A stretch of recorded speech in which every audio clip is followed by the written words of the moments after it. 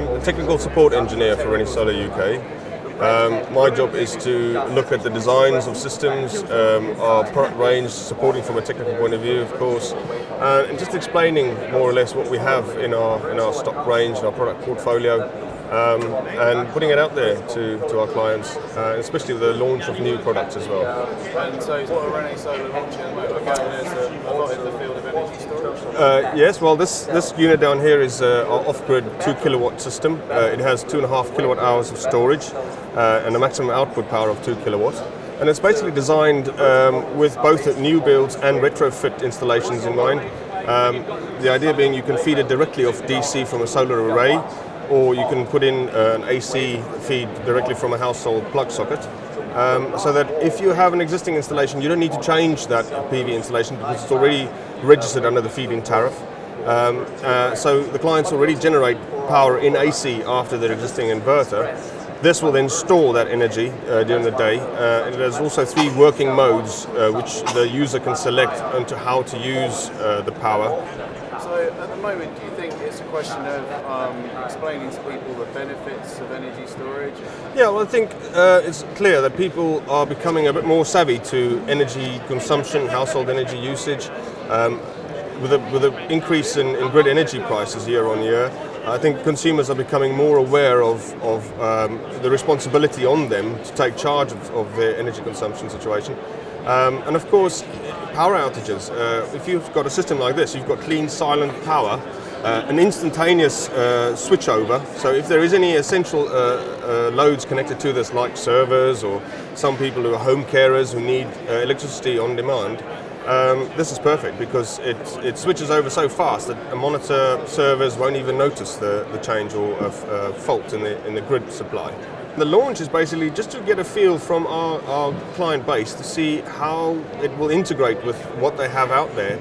We believe, um, as the product stands at the moment, it's really well integrated. Um, it's wheeled. It's uh, you know it, it's easy to install. It's pre-packaged. It's, it's a plug-and-play system really, so it makes it easy on the installer.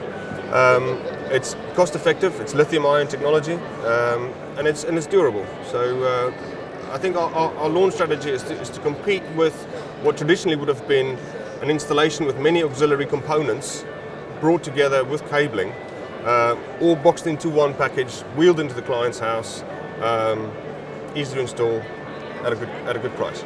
Can you take us through the process of sure. getting one from basically from the factory into the house?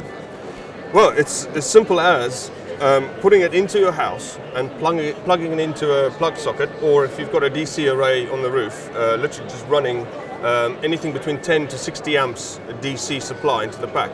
It comes with all your auxiliary uh, plugs required, so it's got a DC plug and an AC uh, uh, cord feeding it. Um, so it's as simple as buying a washing machine, putting it in your house, and plugging it in and making it work. Understanding places like Germany, they have like a percentage subsidy for people to put systems in their house and stuff. Um, I mean, what kind of what kind of progress might we expect in terms of What- getting numbers of systems into people's houses? Energy storage is a good idea um, because it's not only kind to the consumer's pocket uh, over the long run, it's also kind to the grid.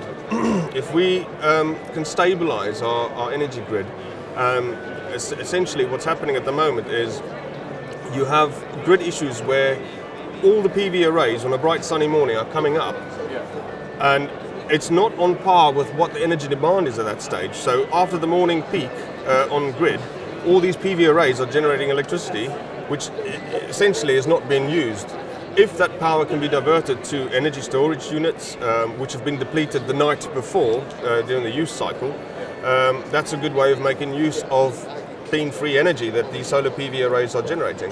Um, I think the other side of it is, of course, like I mentioned earlier, is the- user's ability to take charge of their household energy system and, and to load manage and to be more aware. And, and I think the design of this system makes it simple because of the touchscreen user interface. Um, it gives the user an instantaneous readout of what was their energy consumption, what was their charge for the day. Um, you know, it, it's also got the three plug sockets at the back, so you can run your appliances directly off it. It has a battery management system that has preset uh, minimum and maximum voltages. Uh, on this particular battery, it's uh, it's a 48 volt system. Um, so it monitors each cell voltage and makes sure that the battery is never discharged below a certain point, which is quite important with lithium ion. And then again on the charging cycle, it balances the charge uh, on the on the maximum voltage, which then will, will switch off charge once once it's full. Um, with the two charging options you've got, you've got the AC, like I mentioned, or the DC. The DC uh, charging coming off the solar PV array is more like a trickle charge. So it, it, it has a built-in charge controller which puts that power into the battery. But there's no real user interface. It's all automated inside the machine. So what you've got in there is a, a lithium-ion battery system, an inverter charger, and a power transformer to get that power back into AC to feed the uh, client's uh, appliances. It's all about you know the, the, the, user in the end of the day. We want this to be uh, a system that, that really makes the user feel in control. Um, and it must be, you know, there must be a bit of fun. I suppose it's a bit of a geeky fun, but it's, you know, it's it, it gives them the opportunity to be more in charge.